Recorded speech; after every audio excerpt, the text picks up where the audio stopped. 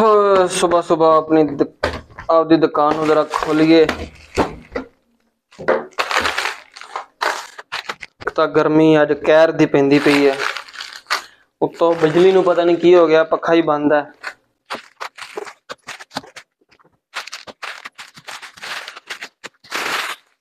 ਮੱਖੀਆਂ ਵੀ ਨਾ ਕਿਤੇ ਹੈਗੀਆਂ ਹੀ ਨਹੀਂ मजा नहीं आ रहा है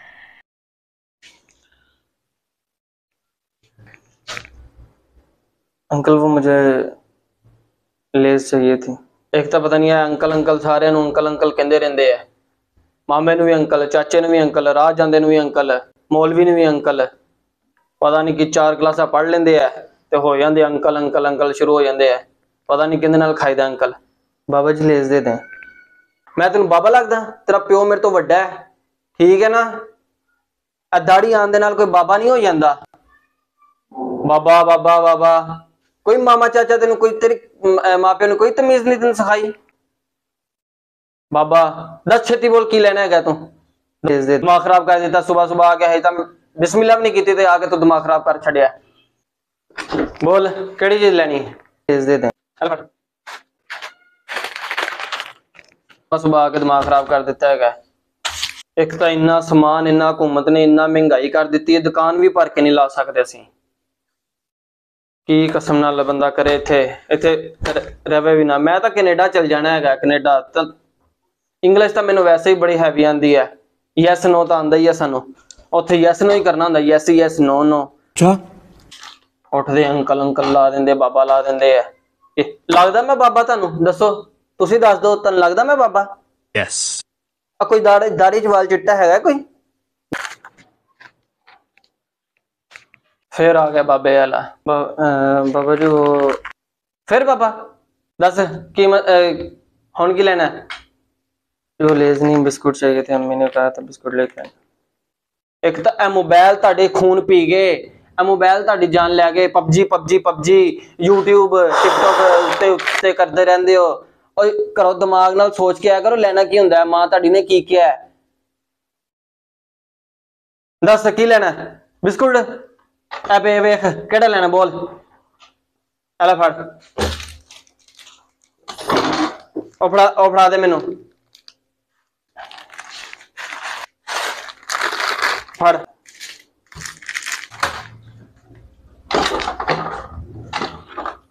ਪਤਾ ਨਹੀਂ ਇਹਨਾਂ ਦੇ ਦਿਮਾਗ ਕਿੱਧਰ ਗਏ ਹੋਏ ਨੇ। ਅੱਜ ਕੱਲ ਦੀ ਨੌਜਵਾਨ ਨਸਲ ਤਾਂ ਜ਼ਾਇਆ ਹੀ ਹੋ ਗਈ। ਆ ਬੋਲ। ਆ ਬੋਲ ਇਹਨਾਂ ਨੂੰ ਤਾਂ ਮੋਬਾਈਲਾਂ ਦੇ ਵਿੱਚ ਵੜ ਵੜ ਕੇ ਇਹਨਾਂ ਦੇ ਦਿਮਾਗ ਖਾਦੇ ਗਏ। ਦਿਮਾਗਾਂ ਵਿੱਚ ਇਹਨਾਂ ਦੇ ਕੁਝ ਬਚਿਆ ਹੀ ਨਹੀਂ। ਪਹਿਲੇ ਪਹਿਲੇ ਜ਼ਮਾਨੇ 'ਚ ਜਦੋਂ ਅਸੀਂ ਛੋਟੇ ਹੁੰਦੇ ਸੀ, ਸਾਡੇ ਮਾਪਿਓ ਨੇ ਸਾਨੂੰ ਸਿਰਫ ਕਹਿਣਾ, ਉਹਨਾਂ ਨੇ ਕਹਿਣਾ ਵੀ ਨਹੀਂ, ਉਹਨਾਂ ਨੇ ਇਸ਼ਾਰਾ ਕਰਨਾ ਅੱਖ ਦਾ। ਤੇ ਅਸੀਂ ਇੰਜ ਭੱਜੇ ਜਾਂਦੇ ਸੀਗੇ ਤੇ ਸਾਰੀਆਂ ਚੀਜ਼ਾਂ ਜਾ ਕੇ ਲੈ ਆਉਂਦੇ ਸੀਗੇ ਜਿਹੜੀ ਜਿਹੜੀ ਚੀਜ਼ ਚਾਹੀਦੀ ਹੁੰਦੀ ਸੀ ਘਰ। ਅੱਜ ਕੱਲ ਦੀ ਨਸਲ ਉਹਨਾਂ ਨੂੰ 10-10 ਵਾਰੀ ਉਹਨਾਂ ਨੂੰ ਮਾਂ ਮੈਸੇਜ ਕੀਤੀ ਜਾਂਦੀ ਹੈ ਮੈਸੇਜ ਕੀਤੀ ਜਾਂਦੀ, ਪੁੱਤਰਾ ਲਿਆ ਦੇ, ਪਿਓ ਕਹੀ ਜਾਂਦਾ ਕੋਈ ਸੁਣਦਾ ਹੀ ਨਹੀਂ। ਅੱਜ ਤਾਂ ਸਵੇਰ ਸਵੇਰ ਹੀ ਇਹਨਾਂ ਨੇ ਸਿਰ 'ਚ ਪੀੜ ਕਰਾਤੀ ਮੇਰੇ। ਬਾਬੇ, ਉਹ ਛੋਟੇ, ਇੱਕ ਕੱਪ ਚਾਹ ਲੈ ਕੇ ਆ, ਪੱਤੀ ਥੋੜੀ ਤੇਜ਼ ਪਾਈ ਯਾਰ ਉਹਦੇ 'ਚ। ਲਿਆ ਪੁੱਤ ਸ਼ਾਬਾਸ਼ ਯਾਰ ਤੇਰੇ।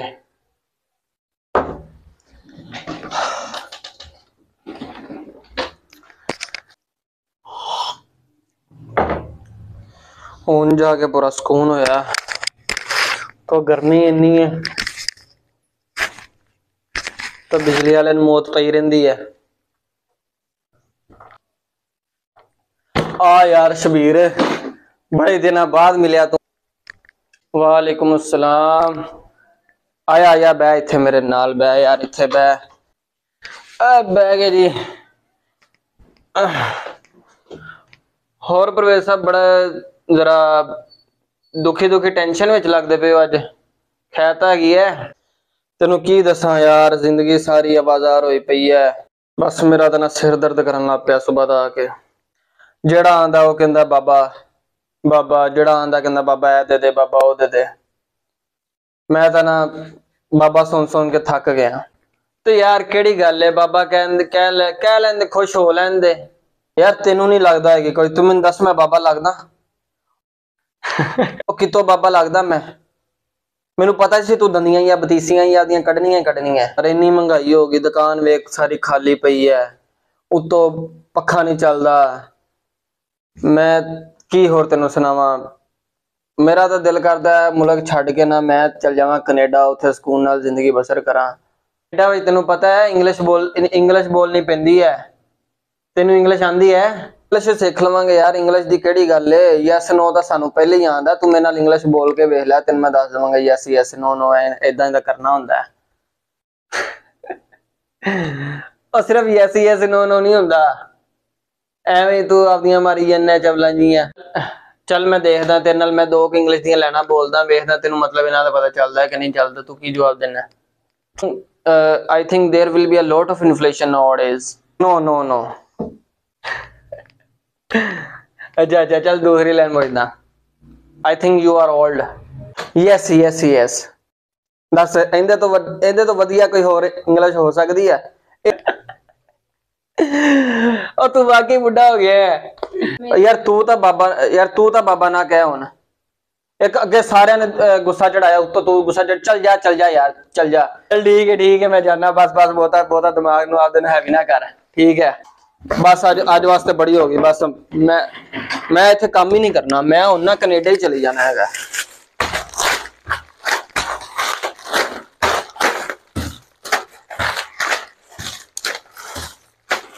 ਆ ਛੋਟੇ ਯਾਰ ਆਪਦਾ ਕੱਪ ਫੜ ਲਵੀਂ। ਅਦਨ ਮੈਂ ਜਦੋਂ ਮੈਂ ਕੈਨੇਡਾ ਚਲੇ ਗਿਆ ਨਾ ਤੈਨੂੰ ਮੈਂ ਇਕੱਠੇ ਪੈਸੇ ਸੈਂਡ ਕਰ ਦਵਾਂਗਾ। ਉਹ ਰਜਾ ਦਾਂਗਾ, ਟੈਨਸ਼ਨ ਨਹੀਂ ਲੈਣੀ, ਟੈਨਸ਼ਨ। ਬਸ ਤੂੰ ਮੇਰਾ ਇੰਤਜ਼ਾਰ ਕਰ ਕੈਨੇਡਾ ਜਾਣ ਦਾ। तो गाइज़ कैसा लगा ये आप लोगों को एक फनी किस्म का डब अपनी तरफ़ से कोशिश की है कि अच्छा बनाने की और इम्प्रूव करने की पिछली दो दफ़ा से पिछली दो दफ़ा से इम्प्रूव करने की कोशिश की है। बाकी और जो डेफिशिएंसी हो आपको महसूस हो तो आप कमेंट करके बता सकते हैं, इंशाल्लाह। आप मुझे अमल करता हुआ पाएँगे उस पर तो बस इसी के साथ मुझे दीजिए इजाज़त, मिलते हैं एक नए ब्लॉग में, एक नई उम्मीद है, एक नए जज्बे और एक नई किस्म की नई टाइप की चीज़ के साथ। ओके अल्लाह हाफिज़। ਤੇ ਮੈਂ ਤੁਹਾਨੂੰ ਕਿਹਾ ਸੀ ਨਾ, ਮੈਂ ਚੱਲ ਜਾਣਾ ਕੈਨੇਡਾ। ਇਹ ਵੇਲੋ 에어ਪੋਰਟ ਤੇ ਮੈਂ ਆ ਗਿਆ ਏ। ਹੁਣ ਮੈਂ ਚੱਲਾਂ ਕੈਨੇਡਾ। ਸਹੀ ਏ। ਇੱਥੇ ਮੁਲਕ ਦੇ ਹਾਲਾਤ ਐਡੇ ਗੰਦੇ, ਇੰਨੀਆਂ ਚੀਜ਼ਾਂ ਮਹਿੰਗੀਆਂ, ਉਤੋਂ ਸਾਰੇ ਮੈਨੂੰ ਕਹਿੰਦੇ, ਬਾਬਾ ਬਾਬਾ ਆ ਵੇਖੋ ਟੋਪੀ ਪਾ ਲਈ, ਹੁਣ ਲਾਤੀ ਪਕੜੀ ਹੁਣ ਜਾਣਾ ਕੈਨੇਡਾ, ਉੱਥੇ ਕਰਨੀ ਯਸ਼ੀ। ਤੇ ਬਸ ਹੁਣ 에어ਪੋਰਟ ਪਹੁੰਚ ਗਿਆ। ਇੱਥੇ ਹੁਣ ਮੈਂ ਜਹਾਜ਼ 'ਚ ਬਹਿਣਾ ਤੇ ਚੱਲ ਬਈ। ਟਿਕਟ ਸ਼ਿਕਟ ਕੁਝ ਨਹੀਂ ਕਰਾਇਆ ਅਸੀਂ। ਸਾਡਾ ਨਾਮ ਹੀ ਬੜਾ ਚੱਲਦਾ ਹੈ ਉਹਨਾਂ ਨੂੰ ਜਾ ਕੇ ਦੱਸਣਾ ਸੀ ਬਸ ਅਸੀਂ ਜਾਣਾ ਕੈਨੇਡਾ ਤੇ ਉਹਨਾਂ ਨੇ ਫੌਰਨ ਜੀ ਨਾਲ ਹੀ ਅੰਦਰ ਲੈ ਜਾਣਾ ਤੁਸੀਂ ਵੇਖਦੇ ਚੱਲੋ हज़रत अनस बिन मालिक रज़ी अल्लाह ताला अन्हा फरमाते हैं कि एक बूढ़े शख्स आए वो नबी अकरम सल्लल्लाहु अलैहि वसल्लम से मिलना चाहते थे लोगों ने इन्हें रास्ता देने में ताख़ीर की तो आप सल्लल्लाहु अलैहि वसल्लम ने इरशाद फरमाया वो शख्स हम में से नहीं जो हमारे छोटों पर शफकत ना करे और हमारे बूढ़ों की इज़्ज़त ना करे